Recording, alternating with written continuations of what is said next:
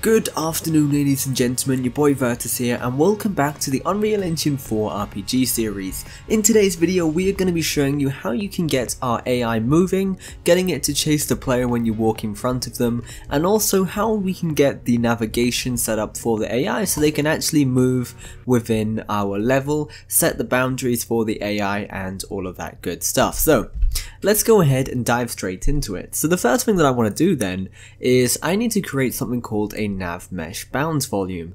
This pretty much calculates and tells the AI exactly where they can go within our level.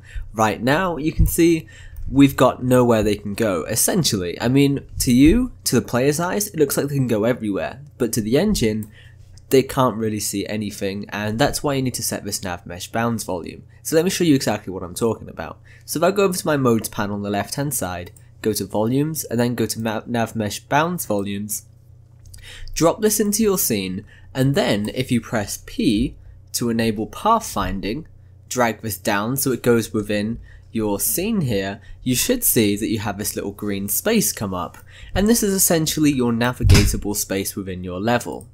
So what we're going to do with this, if I scale this up, it is essentially going to tell the AI where they can go. So you can see here, they can go up the stairs, they can go to this higher level, and pretty much anything that is not really a collision volume, they can go through. So you can see I've got this box here, it pretty much calculates they should not be going through that box, and it's something that we're going to use to tell our AI where they can and cannot go. So what you want to do is pretty much scale this on the width, the length, and just make this fit the entirety of your level and just place it within there. Just go ahead and place this in, just scale it using the normal transformation tools, and you can see now that it's updated, it's now made our whole level green. That means they can go in it. If it's red, it's just calculating if it's, you know, there's nothing there, they just simply can't walk in it.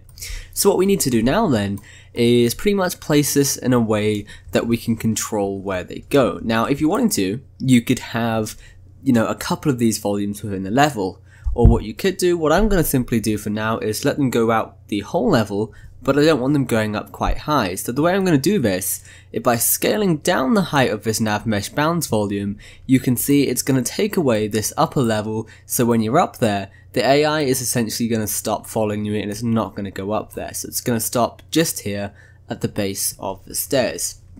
So now that we've done this, and the engine knows where the AI can go, what we need to do now then is essentially open up our simple AI blueprint and then within this we are going to tell it to simply have a component. This component is going to be something called a pawn sensing volume. Not a pawn sensing volume, but a pawn sensing component. If you go to your viewport, you can't actually see this actor.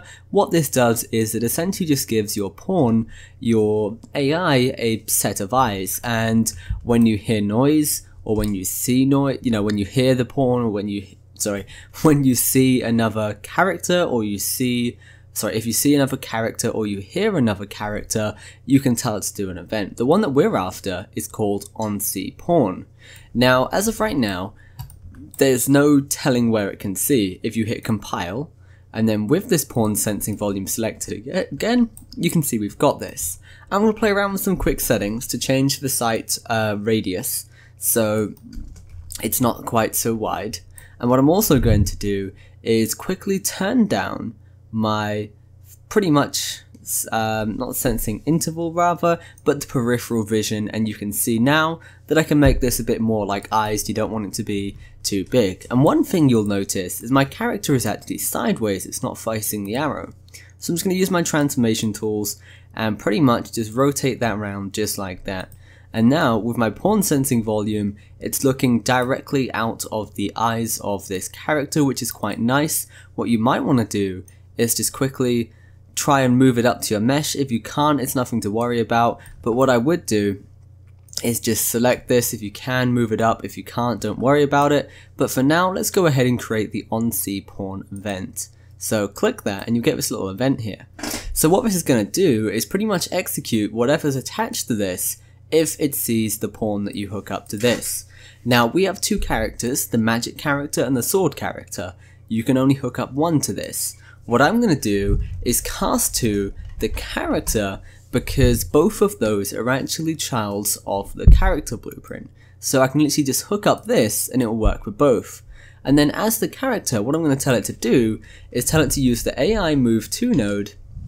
And what I can tell this to do now then is tell it to move a pawn. The pawn is going to be itself because we're within a AI blueprint already. And then the destination, you could set this with a manual destination with the X, Y, and Z just using a vector input. Or you could even get the character um, location, so get actor location and then hook that up in there and that will move it to the location of your character. Or what you could do, which is what I'm simply going to do, is tell it the AI to move to our target actor, which is going to be our character. So that's pretty much just going to chase the character, which is great.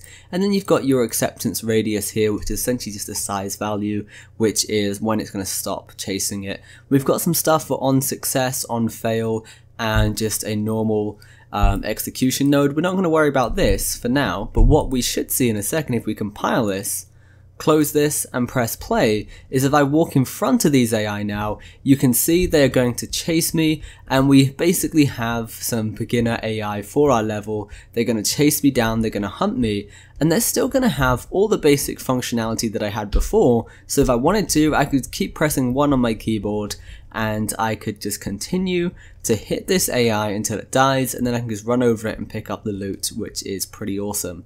Now guys we have got loads more on the way in terms of AI. We're going to be getting them to roam the level if they can't see the player and a whole bunch of other awesome stuff just like that. Anyway guys that's pretty much everything for today's video.